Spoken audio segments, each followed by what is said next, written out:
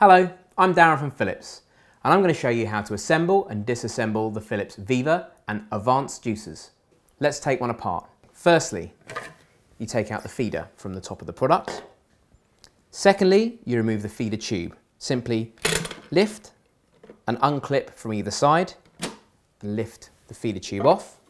The third part to remove, now this is the tricky one, is the mesh.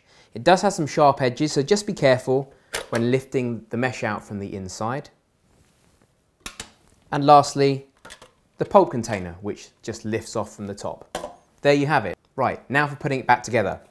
We start again with the pulp container, slides over the top of the juicer.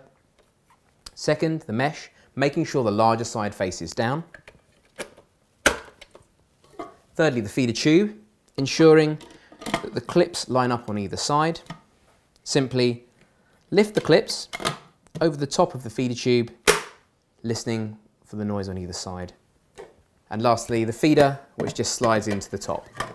The only difference between the Avance and Viva juicers is the method by which you unclip.